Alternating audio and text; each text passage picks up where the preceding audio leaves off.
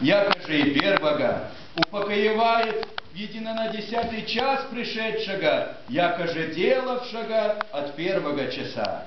И последнего милует, и первому угождает, и онному дает, и всему дарствует, и дела приемлет, и намерение целует, и деяния почитает, и предложения хвалит.